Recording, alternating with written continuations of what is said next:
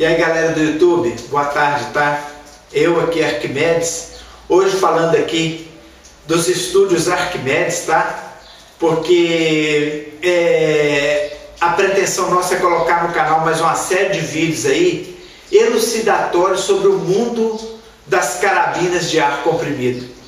E nós vamos então começar hoje, nós vamos postar o vídeo 1, vai ser uma série de vídeos, mas hoje nós vamos falar tá, é, sobre uma primeira parte dessa série de vídeos com o objetivo de elucidar aqueles que são amantes das armas de pressão sobre o mundo das carabinas de pressão. E seria difícil para mim fazer isso sozinho, uma vez que são muitos detalhes, embora não vamos entrar a miúdes em todos os detalhes aqui, mas eu então, na impossibilidade de fazer isso sozinho, convidei dois grandes amigos meus para estarem aqui conosco e nos auxiliarem na resposta dessas questões aí, tá? E é por isso que eu peço a vocês aí do YouTube e aos que estão presentes aqui no estúdio que deem uma salva de palmas e recebam é, o nosso primeiro auxiliar na resposta aí, que é Arquimedes, o Franco Atirador. Okay. Pode ver, Arquimedes, seja bem-vindo. É um prazer estar aqui com vocês. É uma alegria muito grande, viu? Obrigado mesmo pelo convite. Eu, eu agradeço. Não, não tem que agradecer galera, pelo convite. A galera toda aí já fica Muito feliz, obrigado, honrada. É um prazer para mim, uma honra para mim estar aqui no canal. Tá? Sempre que precisar eu tô aí. Obrigado. Ok, a gente agradece. Pois bem, gente, além de Arquimedes aqui, o, o Franco Atirador. Gente, muito boa. Nós convidamos também Arquimedes o Sniper, para que ele venha nos auxilie nas respostas das perguntas que estão aqui elaboradas aqui, tá bom? Então nós vamos receber agora Arquimedes, Seja o Sniper, que vem aqui dessa região. Pode vir, Arquimedes, o Sniper? É um prazer estar aqui com vocês. Muito obrigado. Uma alegria, viu? Estar aqui no canal. Muito bom esse convite. Eu fico muito honrado e muito agradecido. Ok. Ok, Arquimedes Sniper, Arquimedes Franco Atirador. Estamos aqui então e vamos dar início ao nosso programa de número 1 um sobre o mundo das armas de ar comprimido. Nós temos aqui no primeiro vídeo um projeto com algumas pesquisas e nós vamos perguntar algumas coisas para desvendar todo mundo das armas de ar comprimido muito naquilo que são as informações básicas, muito porque bom. tecnicamente envolve muitas questões, pois ok? Então tá, nós vamos começar aqui com o Arquimedes Franco Atirador, aqui do meu lado esquerdo, à direita de quem está aí, para falar, para pedir que ele fale conosco o seguinte, bom, sim, é, sim. as armas de ar comprimido, o Arquimedes, o Franco Atirador, uhum nós sabemos que elas têm um sistema de propulsão. Sim, sim. E que esses sistemas são cinco sistemas diferentes. Né? E nós Perfeito. gostaríamos que você falasse sobre cada um deles um pouco com o pessoal do canal aí, para eles entenderem sobre como se dá e como é e como são os cinco sistemas mais comuns de propulsão das carabinas de ar comprimido, ok? Está com você a resposta Pode okay. se dirigir aí ao pessoal do canal enquanto eu aproveito e leio as demais perguntas aqui, ok? Ok, ok. Eu agradeço mais uma vez a participação aí no canal, a oportunidade. E respondendo a pergunta, a gente sabe que toda arma ela usa um sistema para propelir o projétil de encontro ao alvo. E no caso das carabinas de ar, esse sistema é o ar. O ar que já é comprimido dentro da cana, do cano, perdão. É, existem cinco formas que se usa Muito mais bom. usualmente, que se vê hoje para é, comprimir o ar no interior de uma carabina e propelir o projétil então até o alvo. O primeiro deles é a mola helicoidal. É aquela mola tá? que as carabinas mais antigas todas usavam e que quando você bascula o cano, essa mola é comprimida e quando você aciona o gatilho, ela se distende e empurra então o ar, propulsionando o projétil até o alvo. Então a mola helicoidal é o sistema gradual de enchimento da câmara, que é o chamado multipump, que são aquelas carabinas que tem normalmente aquele sistema que você dá mais de uma bombada e vai comprimindo gradativamente o gás na câmara tá? E que depois, mediante acionamento do gatilho, também libera esse ar, liberando também o projétil em direção é, ao alvo. Então, o segundo sistema é o multipump. O terceiro tá? sistema é o chamado gás CO2, que é um tubinho de gás ou um cilindro de gás que é adquirido e que é recarregado e que tem um lugar próprio na carabina, na arma onde ele se insere e quando você aciona o gatilho ele libera gás CO2, ele não é ar, é gás, para propelir o projétil em direção ao alvo. E o gás RAM, que é o quarto, que veio substituir a mola helicoidal, tá? Onde você comprime um pistão dentro de uma câmara própria, não tem mola e ele libera então o projétil em direção ao alvo. E as chamadas PCPs, que você carrega o cilindro é, já antes, pré-carrega, por isso é PCP, e você enche ele com a quantidade X de ar e depois você libera esse ar mediante tantos tiros que cada cilindro te proporciona. É considerado muito estável as PCPs, as multipump e as de gás RAM também, porque produzem menos vibração, tá? Okay. Eu espero ter respondido aí a pessoal todo entendeu a informação. Tomara que tenham entendido que tenha sido claro.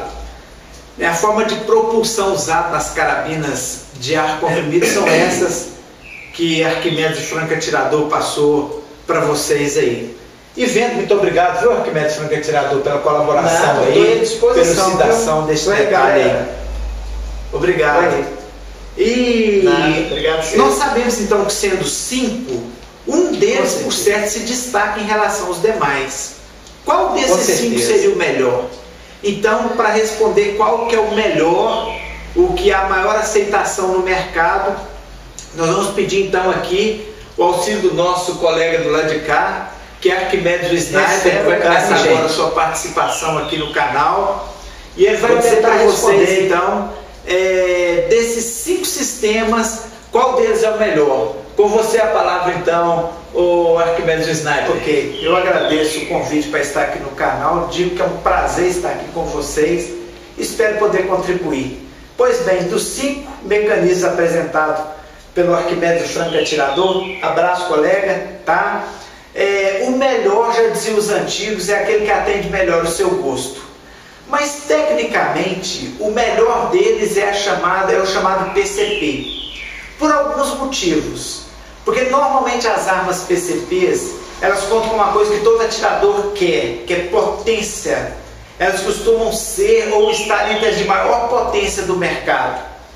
Então, além de ter uma boa potência, elas são livres, praticamente livres, não são livres por completo, é praticamente livres de recuo e vibração na hora do disparo, uma vez que não tem nada além de uma válvula que libera o ar para propelir o projétil. É, okay. tá? E é uma arma sim. Não, ok. Está entendido sim. de todos. Foi muito claro, foi Espero muito boa sua explicação. Entendido, tá? Foi boa explicação aqui também de Arquimedes, o franco atirador. Pois bem, vamos então para a nossa segunda pergunta. Tá, eu espero que todos tenham entendido aí como funcionam os sistemas de propelir o projeto das carabinas de ar comprimido, tá? Então vamos aqui à nossa segunda pergunta mandada aqui pelos assinantes do canal aqui. Faz tá? aí e que é imprescindível o atirador saber para ele na hora de escolher a carabina que ele vai comprar. E a segunda pergunta é, que nós vamos perguntar aqui, dessa vez eu vou pedir que cada um responda três motivos, tá separados para que a participação seja igual entre os dois. É, eu vou perguntar aqui então, primeiro a Arquimedes, o franco atirador, que é a minha esquerda. Sim. Que você Sim. nos responda, Arquimedes, franco atirador. É, o que que influencia para que uma carabina Sim. seja precisa? Digamos que o nosso amigo aí no canal quer comprar Muito uma carabina, quer uma carabina precisa. O que que ele deve é. olhar na carabina se ela possui para que Muito ele tenha uma carabina precisa nas mãos? Então eu vou te pedir que você nomeie três motivos, por favor. Com você a palavra, ok? Ok, obrigado. Bom, o desejo de todo atirador é fazer bons tiros e bons agrupamentos. Então, para isso, ele precisa de uma carabina precisa. E há características que uma carabina deve possuir para ser precisa. A primeira, primeira coisa, a gente deve entender que todo o conjunto da arma é importante para que ela seja precisa. Mas alguns, alguns aspectos que se ressaltam em relação aos demais. Por exemplo, possuir pouco recuo e pouca vibração. Não adianta nada ser uma arma muito potente, mas ter muito recuo, muita vibração, porque você não vai agrupar bem, não vai acertar bem. Por causa da balística interna, faz com que o chumbo já saia é, variando de dentro do, do cano. Então, ter pouco recuo, ter pouca vibração está ligado muito à potência, ao sistema de pré-carregar o ar, tá? é, ter um peso moderado, não adianta carabina muito pesada, tá? pesa 4 kg e tanto. Se você for fazer um tiro à mão livre, fica difícil você ter é, estabilidade com um peso desse nas mãos. E o terceiro, eu diria que tá, tem a ver com o cano. O cano é muito importante para a arma ser precisa. Né? O cano não deve ter as paredes muito finas para gerar muita vibração na hora do disparo, nem a parede muito grossa para ficar pesada a arma. O cano também não deve ser muito curto nem muito comprido, porque ele muito curto ele prejudica você fazer a mira, porque a alça de mira e a massa de mira vão estar mais próximas. E há uma lei que diz que quanto mais próxima, mais a variação na hora da visada. E quanto mais longa a distância da, okay. da massa de mira, da alça de mira, mais fácil a visada. Está então, perguntando tem a ver também, então, não, só mais aqui, agora vamos passar aqui para as confusões importantes para que ele nomeie outros três, três características que uma carabina deve ter para ser considerada uma carabina precisa, além dessas três que o franco atirador que falou. Vamos lá, Grande Sniper, é com você, é sua vez, pode se dirigir à turma aí e falar outros três, outras três características que uma carabina deve ter para ser precisa. Bom, além da brilhante atuação do nosso colega ali, o franco atirador do lado, eu colocaria como um quarto motivo para a carabina ser preciso o gatilho. O gatilho da carabina deve ser ergonômico e ter o peso certo. Gatilho muito pesado dificulta agrupamento. E gatilho muito quadrado, então ele deve ser ergonômico. Encaixar o dedo de forma gostosa no gatilho. Outro detalhe que faz uma carabina ser muito precisa, de preferência que ela seja de cano fixo tá? Que você não precisa de bascular o cano, que ela tem outro mecanismo, tá? O cano fica fixo constantemente, porque aqui você bascula, ela corre o risco de desalinhar por bambear a junção do cano com a câmara de propulsão do ar. Então, de preferência, ser de cano fixo. E outro detalhe, possui um bom sistema de mira, ou seja, uma alça de mira é, bem colocado, uma massa de mira bem colocada, ambos com ajustes, bem como ter trilhos para fixação de equipamentos óticos ah, que vão ajudar na mira, como a luneta, um red okay, dot. Ficou claro? Ficou claro? É, então tá bom, tá claro. Esse detalhe aí tá para todos aí. Então tá aí, você hoje está sabendo aí mais esse detalhe. Tomara que seja tá, Nós já abordamos aqui com os nossos dois colaboradores aqui é, acerca do sistema de propulsão dos projetos, quais são os projéteis, quais são, qual é o mais indicado, tá? E já soubemos também é, aspectos que uma carabina deve possuir para ela ser mais precisa, para você fazer bons agrupamentos, bons tiros é, nos seus esforços de tiro aí, tá? Então tá ótimo, tá a participação deles aqui. Eu acredito que vocês estão aprovando também. Tomara que esteja ajudando, galera. É, nós nos propusemos quando viemos aqui ao estúdio Arquimedes fazer o programa de hoje, de que cada vídeo nosso da série que nós vamos colocar tenha no máximo três perguntas, para não ficarem vídeos muito é, longos, cansativo, tá? Então nós já fizemos uma primeira sobre propulsão, uma segunda sobre mecanismos ou características que a arma deve ter para ser precisa. E agora nós vamos passar para a terceira e última, aproveitando os nossos amigos aqui, tá, que estão conosco nos prestigiando, é para que eles nos respondam é, sobre é, quais os materiais de construção de uma carabina. Sim. Por que, que hoje tem tanta variação, modelos de carabina com materiais diferentes? E nós gostaríamos que cada um falasse de duas características diferentes nas quais as carabinas são construídas e o que, que essas características ou esses materiais agregam de bom ou de ruim as carabinas. Para na hora que você for comprar, você saber, vou comprar uma que tem esse sistema de propulsão. Com certeza. Que tem esses mecanismos aqui para me ajudar na mira e que no conjunto tenha a construção com os materiais X para você fazer uma boa compra é, é, claro e está bem servido no mundo das carabinas de ar comprimido. Então, primeiro aqui Arquimedes, o franco atirador, sua. vai nos dizer dois motivos, dois motivos não, duas, duas composições diferentes nas quais as carabinas são construídas hoje e as características dela, para você fazer uma boa escolha. Com você, Arquimedes Sniper. É, perdão, Franca Tirador, que parece demais com o outro. Eu muito que ele que ele. Aliás, eram vestidos parecidos, eu vou saber por quê. Então vai aí e é com você, Franca Tirador. Pois bem, muito obrigado, apesar da confusão que você arrumou aí. Nós sabemos que hoje a lei do mercado é produzir com o menor custo e vender pelo maior preço. Por isso que os materiais que compõem as coisas que a gente compra são cada vez é, inferiores, porque se produz com menos custo e se vende mais caro para a gente. Isso aconteceu também no mundo bélico dos armamentos e nas carabinas de ar também aconteceu. Mas basicamente a gente tem um conjunto quando você compra uma carabina, por exemplo, de madeira e ferro ela é composta parte de ferro e parte de madeira. Isso é muito bom, as carabinas mais lindas são assim. E elas é, têm excelente acabamento, excelente apresentação e produzem também excelentes resultados. Você acha também no mercado aí carabinas que trocam a madeira por polímero. É o que mais está em uso hoje. Então é polímero e ferro. Também resulta em excelentes carabinas. Carabinas que dão boa precisão, de bom uso, são mais leves e não tem um problema que às vezes a de madeira tem. A madeira precisa do selo verde, o direito do governo para usar a madeira para fazê-la.